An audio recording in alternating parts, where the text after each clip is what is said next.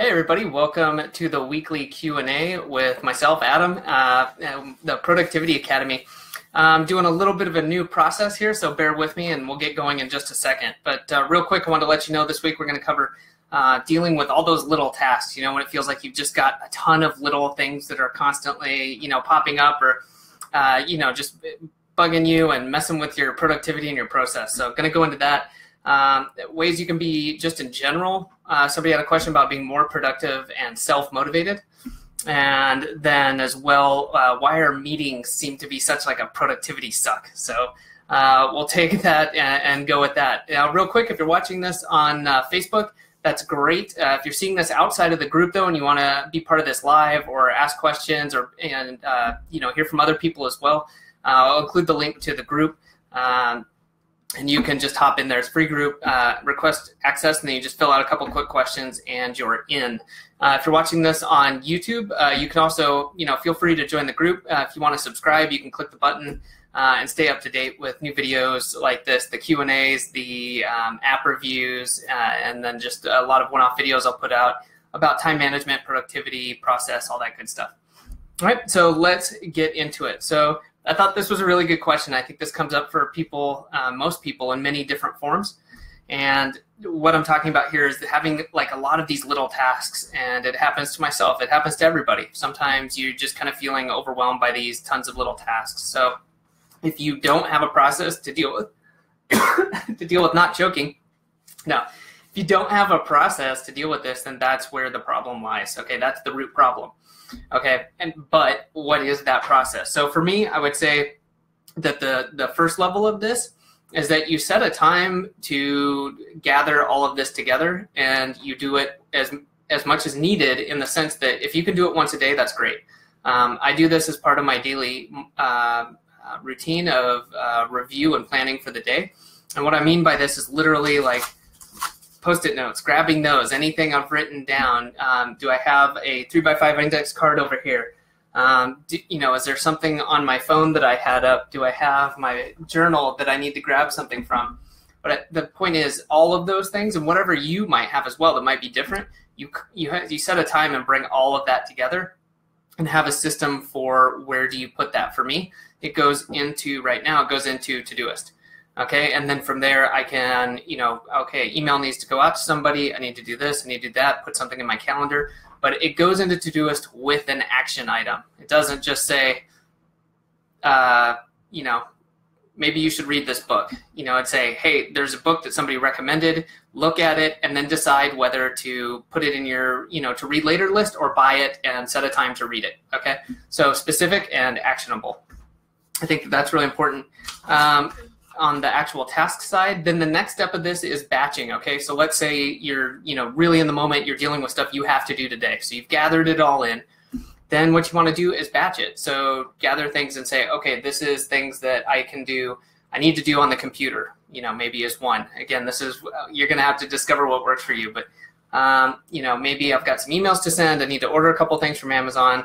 Um, I need to check on, uh, you know, my, my husband or wife's flight coming in. Okay, those are three things I know I need to be at the computer. I'll do those together. Um, then maybe some work stuff. I've got to, uh, you know, do this and that. And personal stuff, I need to run the laundry and do this. And okay, you get the idea. Batch that stuff together now you've got things that that make sense and are grouped together and then prioritize those. What's more important you know? Do you need maybe to do laundry is your top priority but maybe it's not. Maybe it's um, you know dealing with the work stuff up front and then saying okay in the afternoon i've got time i can do the laundry. Right? That's the general idea. Now as you go through this uh, that's the real basis right there. But you look at it and can you delegate any of this? Okay? And it, you know does it do you have a business partner? Do you have a va right you know, do you have a child you can have do the laundry or start teaching them? And, you know, can you ask someone for help with this? Okay. And a lot of times we ignore that and, you know, we just try to take on more and more and more. So whether, uh, you know, you have an employee, you have, uh, you're an employee, you have business partners, you know, you can ask people for help. So uh, once you've done that, you know, get after it. That's the way you get these things done, you know, is you've batched, you've gotten this stuff together, you prioritize, then get to it. Okay. Attack it, get it out of the way and then iterate iterate this process okay because this is kind of like a framework like i just described but it's going to depend exactly um, on what you need. You're going to have something in there that's unique that you need. So uh, from that point, you just go through it. Maybe set a reminder that once a week you think back, take 10 minutes and say, hmm, how did this go? You know, where I gathered my task, was I forgetting something? Was there like a notepad in the kitchen that I've been scribbling stuff down on and I generally forget that in the morning? How can I make that work? You know, can I do my morning review in the kitchen or do I just need to remember, hey, I need to go down there and grab that and make that a part of it? So over time, um, you know, you can really build some bulletproof uh, processes this way. Cool. All right. So next is a question about uh, productivity and motivation. So how can I become more productive and self-motivated? Obviously, this is a really big question, right? I mean, this is this could cover a lot. Um, so what I will say as far as this question is, I think I want to start small with this and say that you create systems. Okay, and the reason behind that is you're creating uh, these systems to help you become more productive. And by systems, I mean systems and processes, things like automating or writing down a list of how you do something. Okay, and then that also helps you take something that's like, oh, I've got a goal that I want to reach. That's great. But how do you get there, right? And instead of saying, darn, you know, I, I meant to do more this week, what do you want to do this week? And then break that down into actions. Like oh i actually meant i wanted to you know finish out the day having responded to all emails and you know done whatever else. Then you can set these actions that are like okay it's like a milestone. What do i need to do in order to make that happen? And start breaking that down into actionable items so that you can then get there. And i guarantee you one this will make you more productive and then two you'll be more self-motivated because no longer is it this like lofty goal of like ah i've got this you know plan well not even a plan i've got this idea that i want to accomplish but i you know, it, it's just that looming sense of like, I don't even know how to do it. It's so big. I'm just going to put it off, right? That's a problem. So you create these actions that you're saying, okay, this is what I do. Start knocking them off, and that just builds your motivation as you go. Okay, think of it as like momentum in the physics sense. You start moving, and you just do one little task. Like I responded to one email. Hey, that's good. I got something done. Let's do it again. Let's do it again. So that's uh, something that I think is really good. And if you want to do this, uh, a little bit better, I highly recommend that you do a daily review. All right, you sit down. If it's not something you're already doing, I think people can be organized already and, and be productive. Uh, but setting that time each day to say, okay, I'm going to sit down, I'm going to go over my day, I'm going to gather all of my information together, I'm going to get organized, and then you know look out through my day, do kind of a time scheduling, and go. All right, and I think that will help you too, as well as just being in general more productive, but also um, being more self-motivated. That you're now kind of you're being proactive is what you are and saying this is what i'm going to do with my time. These are the tasks i need to do. You know let's go.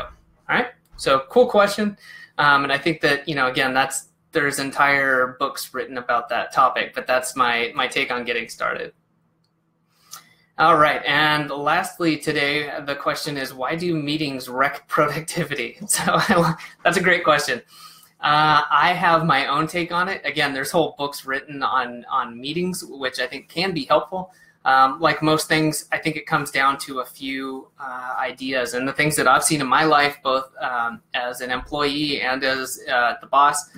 Uh, I've seen these three things that came to mind. I'm looking at my little notes I wrote down when I saw this question, and immediately there's no clear goal for a lot of meetings.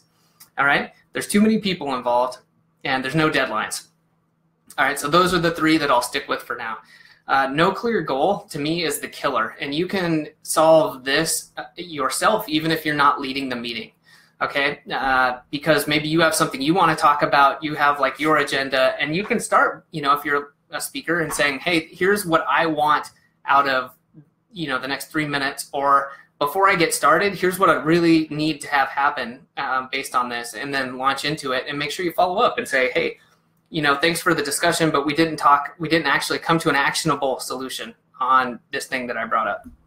Okay, and if you are in charge, it's up to you if you're running the meeting to do this. And again, a lot of times it's good up front. State what is the goal? What what are you meeting for? I've been to so many meetings where you're not even aware exactly of what is supposed to come out of it, and that's a killer. Uh, it's a waste of time. So don't do that. okay, too many people. This one can be tough, uh, but it, you know it grows, uh, I think, exponentially. It gets so much harder to have a meeting with like five people than two or three, right? Two meeting, obvious, two person meeting, one on one. That's easy.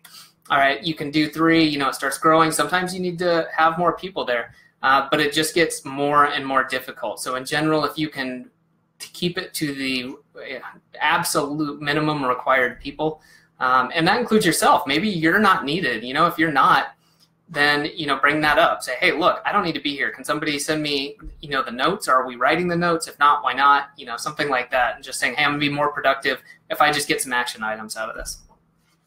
All right and then lastly no deadlines. Okay during a meeting this is part of that here's my goal for uh, you know what i want this meeting to be or what i want my section to be.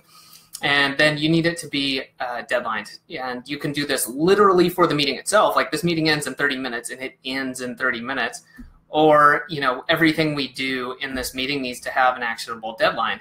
That might just be hey um, you know i went through this. Our goal is to review these three options. They need to be reviewed and summarized and sent out to the team in 48 hours okay?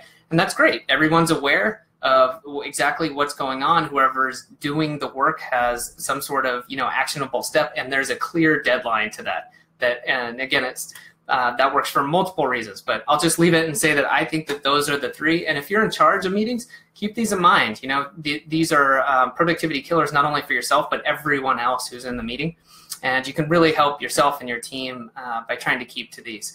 Um, so again, no clear goal, too many people, and no deadlines. So let's go for clear goals. Okay, at the beginning and the end.